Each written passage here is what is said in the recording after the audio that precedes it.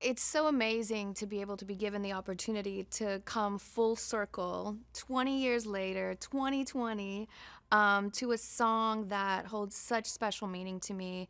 Um, Mulan is the movie, and Reflection is the song that actually hand in hand coincided with getting me my record deal within the first week. So everything has such um, nostalgic, such a symbolic, such an amazing um, thread of just continuity and joy in my life, um, and reason why I'm sitting here today. It's so amazing to come back to such an incredible movie that's full of such amazing power and meaning. I mean, I think the meaning holds true to the test of time as far as staying true to yourself, being who you are, being unafraid and fearless, to stay true to that and to show the world and be unafraid to um, unmask your true identity. I think it's with you know withheld the test of time as a story just because I think everyone on some level um, has to identify and face who they really are at some point in my uh, shows that I put on at my Vegas residency, I um, I reference Reflection as being the first song of so many that has that meaning to unveil yourself, to take off that mask, to explore your inner truth, um, and to be fearless and unafraid of your own voice.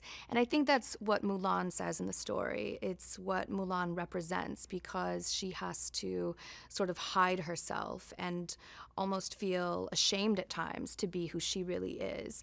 Um, yet within, there's such a strong, amazing person, warrior, and brave individual who is able to shine uh, past all barriers and boundaries. And that's an amazing story I think that anybody can relate to.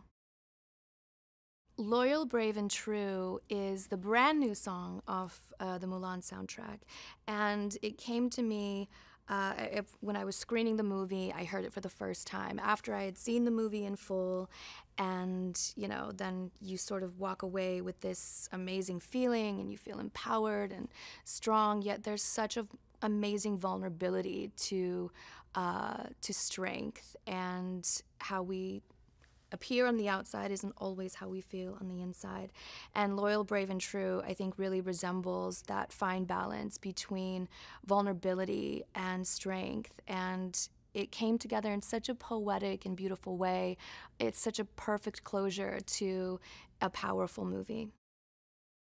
The new version we took on as, I think, a bigger production. I really wanted to embody because it is live action we lose the animation. And so now it almost takes on a more serious tone. So i wanted to really embody that in the arrangement of um, this particular song and bring more of that huge orchestration into the picture. Um, and also in, in singing it in a in a bigger way. Um, so that was exciting for me to take on because it's almost like shedding a skin and reintroducing a new one to such a classic, timeless, epic song.